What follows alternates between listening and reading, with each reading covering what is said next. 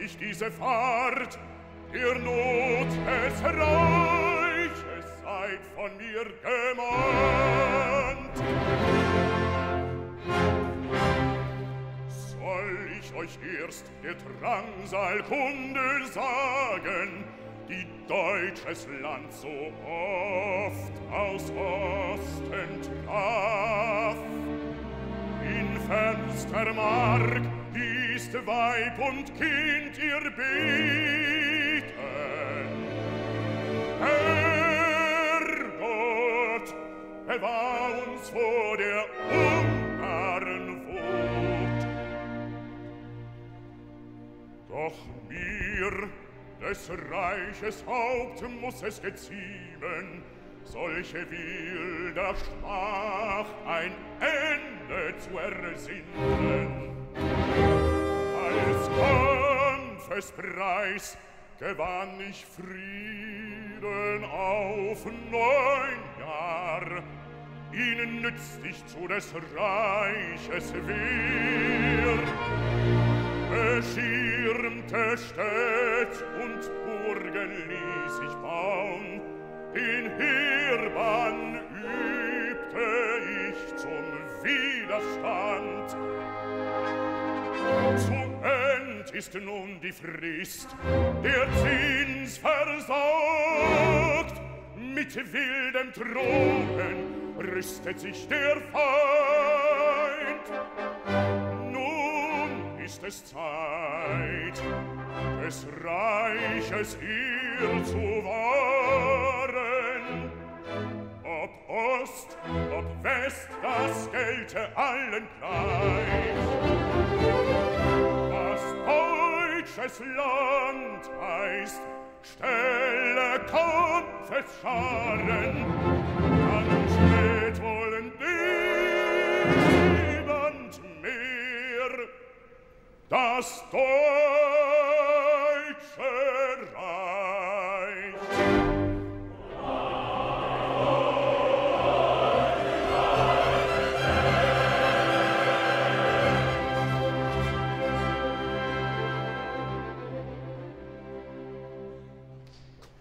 ich zu euch nun, Männer von Brabant, zur Heeres Volk nach Mainz euch zu entbieten, wie muss mit Schmerz und Klagen ich ersehn, dass ohne Fürsten ihr in Zwietracht lebt. Verwirrung, wilde Fehde wird mir kund, Drum ruf ich dich, Friedrich von Telramund. Ich kenne dich als aller Tugend preis. Jetzt rede, dass der Drangsal Grund ich weiß. Musik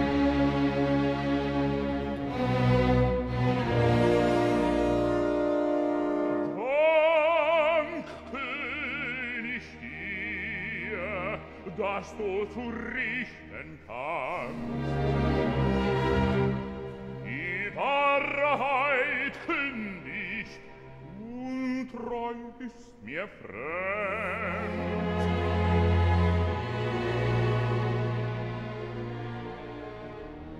Zum Sterben kam der Herzog von Brabant, und meinem Schoß empfahl er seine Kinder, Elsa, die Jungfrau, und Gottfried, den Knaben. Mit Treue plag ich seiner großen Jugend. Sein Leben war das Kleinod meiner Ehre, Erwies nun, König, meinen grimmen Schmerz, alles meiner Ehre Kleinmut, die geraubt. Lustwandelnd führt Elsa den Knaben ein zum Wald, doch ohne ihn kehrte sie zurück mit falscher Sorge wuchs sie nach dem Bruder. Da sie von ungefähr von ihm verehrt, als eine Spur, so sprach sie nicht mehr fort. Fruchtlos war all Bemühen um den Verlorenen. Als ich mit Drohen nun in Elsa drang, da ließ in bleichen Tagen und erheben der gräflichen Schulbekenntnis sie fasste mich entsetzend vor der Magd, dem Recht auf ihre Hand vom Vater mir verliehen. Und sagt, ich will, ich daunt gern, und nahm ein Weib, das meinem Sinn gefiel. Ortrud, Ratputz, des friesen fürsten sprach.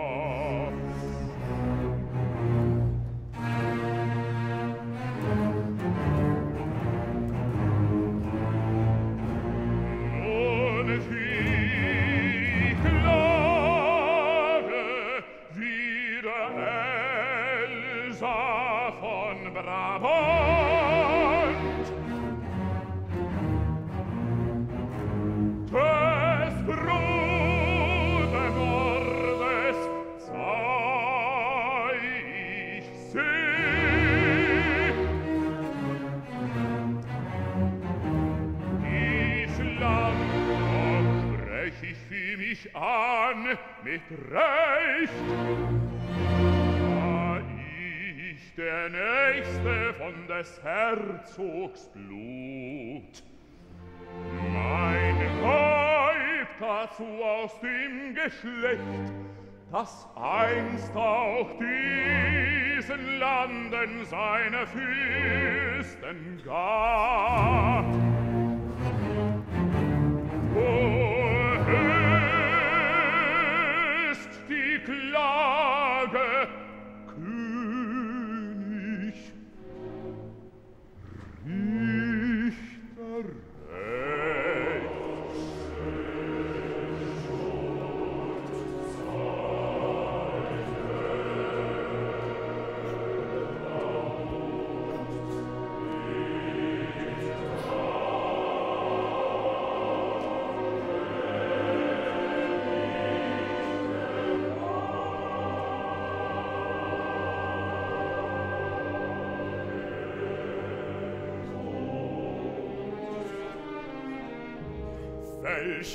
fürchterliche Klage sprichst du aus.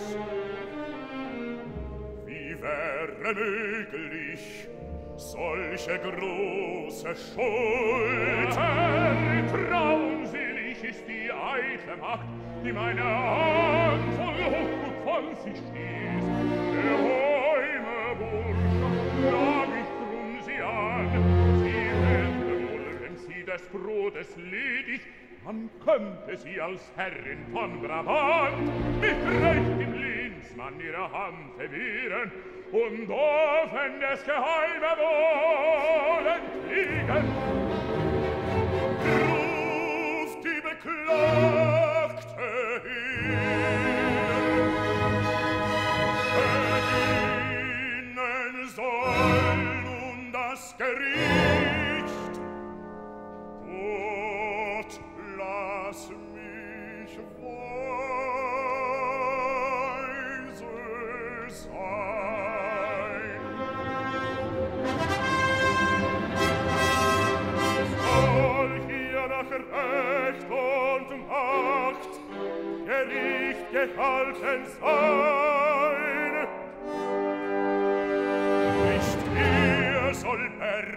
sich ihre Schild, bis ich gerichtet streng und mild.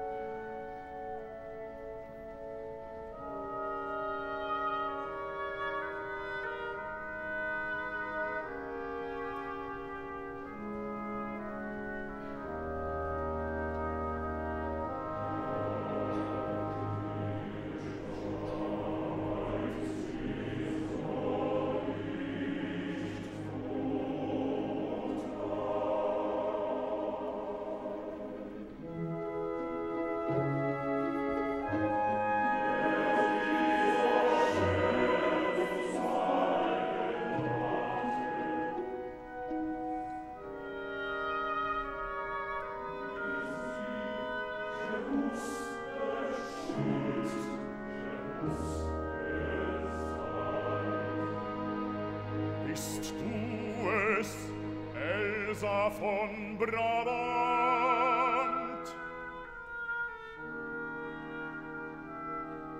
Erkennst du mich als deinen Richter an?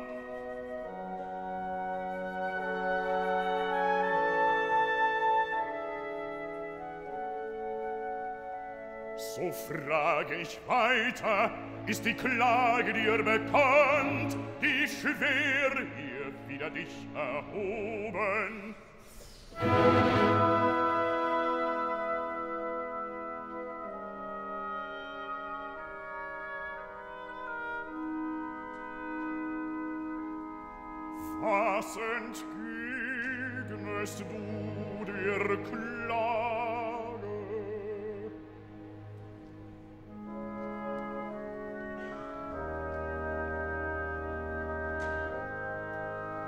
so bekennst du deine Schuld,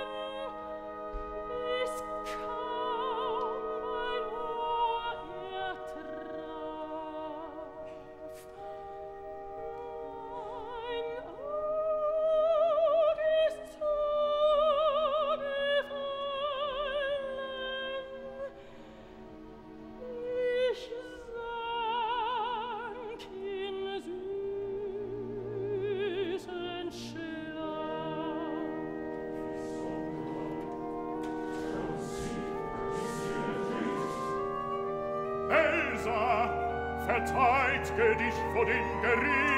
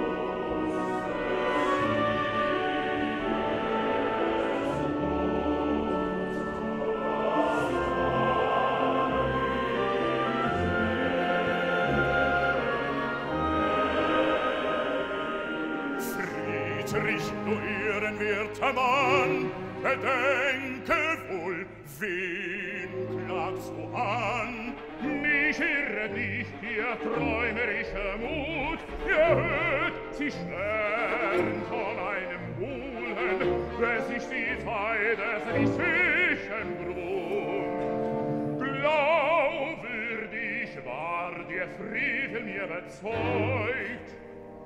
Doch euren Zweifel durch sein Zeugnis wären, da stünde ich übel meinem Stolz. Wüsste ich hier mein Schwert, wer wagt von euch zu streiten wieder meiner Ehrenpreis?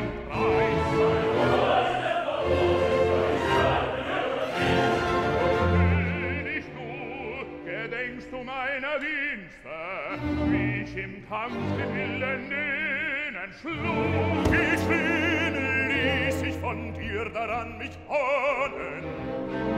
Gern geb ich dir der höchsten Tugend preis, in keiner andern Hut als in der deinen, möcht ich die Lade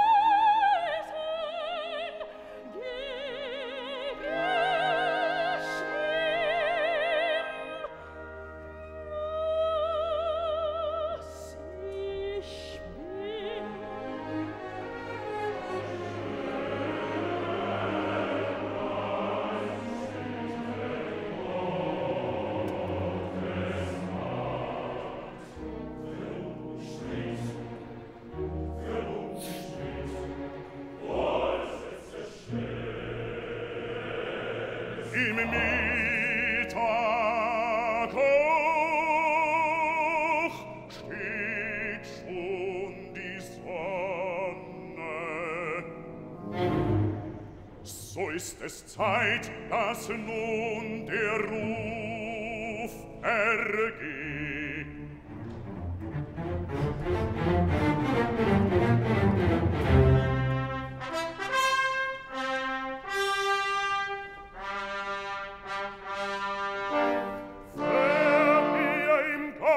des Kampf zu streiten kam, für Elsa von Brabant, Der trete vor, der trete vor.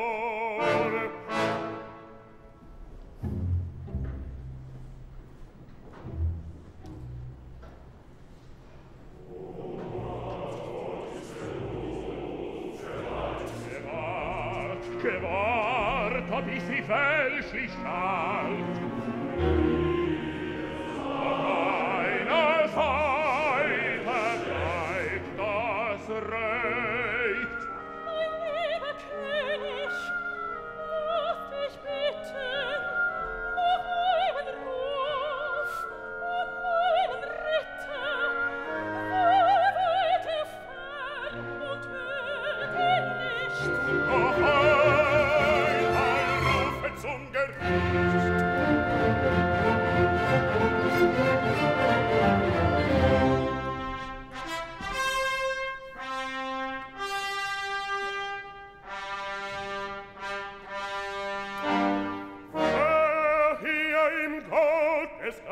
streiken kam, Ilse von Brabant. Er trete vor, er trete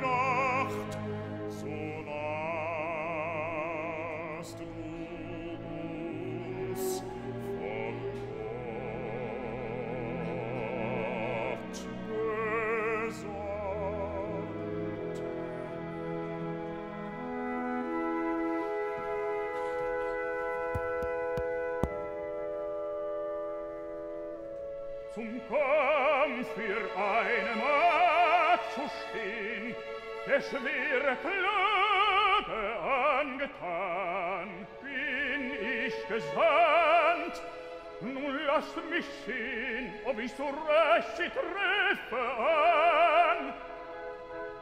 So sprichten Elsa von Brabant, wenn ich zum Streiter ihr ernannt, schuf wohl ohne Bang und Grauen dich meinem Schutze anvertraut.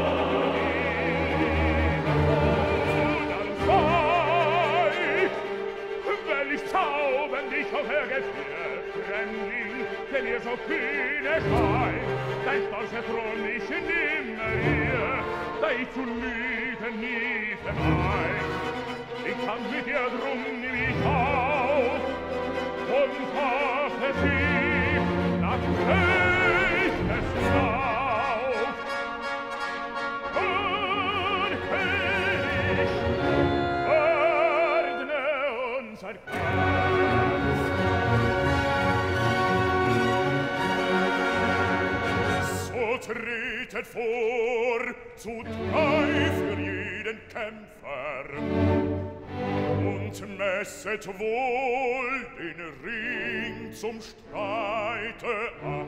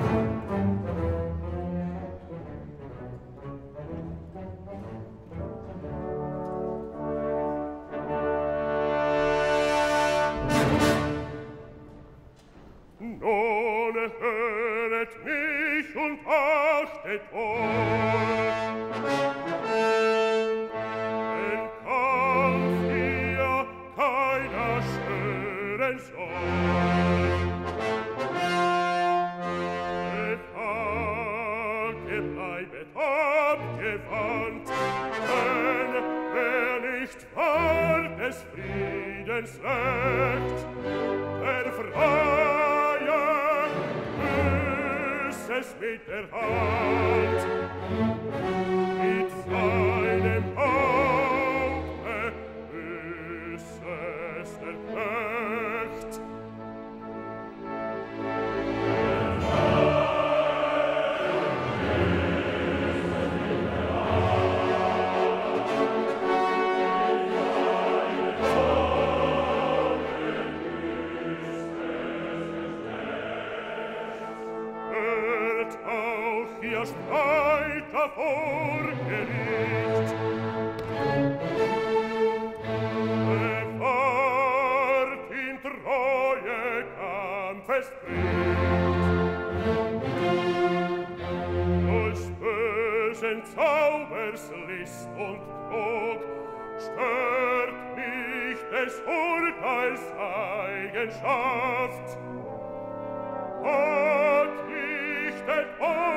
das Recht und Wohl.